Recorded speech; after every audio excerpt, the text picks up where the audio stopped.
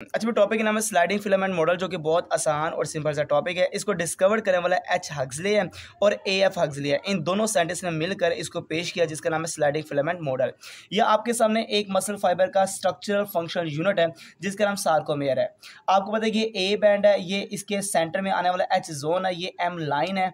ये दोनों एक जी लाइन से लेकर दूसरी जी लाइन तक क्या बनता है? सार्कोमेयर है।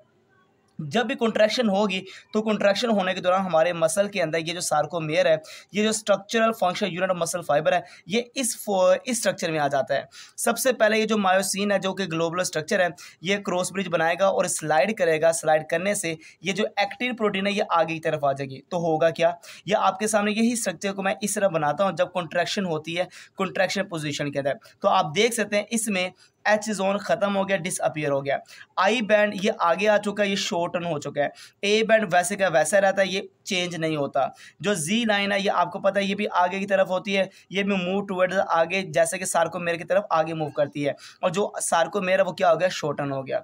ये सारे मॉडल को बयान करने के लिए, इस सारे पॉइंट को क्लियर करने के लिए, जो साइंटिस्ट है, वो ये दोस्त थे एक एच हग्सले और एक ए एफ़ हग्सले इसी तरह मैंने बताया कि कॉन्ट्रैक्शन जब भी मसल की होती है तो सबसे पहले क्रॉस ब्रिज बनता है थ्रिक मायोफिलामेंट का जो बाइंड होता है binding site of actin protein तो एक्टिन प्रोटीन के साथ सबसे पहले क्या बनेगा? क्रॉस ब्रिज जो बनाने वाला वो कौन है? थिक मायोफिलामेंट है। जो पुल करते हैं एक्टिव प्रोटीन को, ये जो ब्लैक होल इसको पुल करेगा और पुल करने के बाद ये toward the centre of sarcomere वो सेंटर ऑफ़ सार्कोमेर में आ जाएँगी।